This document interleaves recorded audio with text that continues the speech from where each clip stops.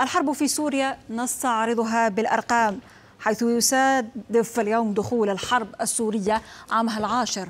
ومنذ انطلاقة الثورة فقدت سوريا الملايين من شعبها بمقتل. 220247 شخص.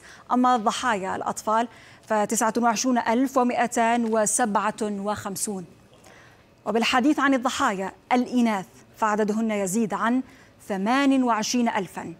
الاعتقال التعسفي والآخر طال نحو 146 ألفا وثمانمائة وخمسة وعشرين شخصا. الاختفاء القسري فطال نحو ثمانية وتسعين ألف ومائتين وتسعة وسبعين. أما بالنسبة للضحايا ضحايا هذه الأزمة السورية تحت التعذيب فعددهم يزيد على أربعة عشر ألفاً. تسببت الحرب على السوريين بتكبير موجة نزوح منذ الحرب العالمية الثانية.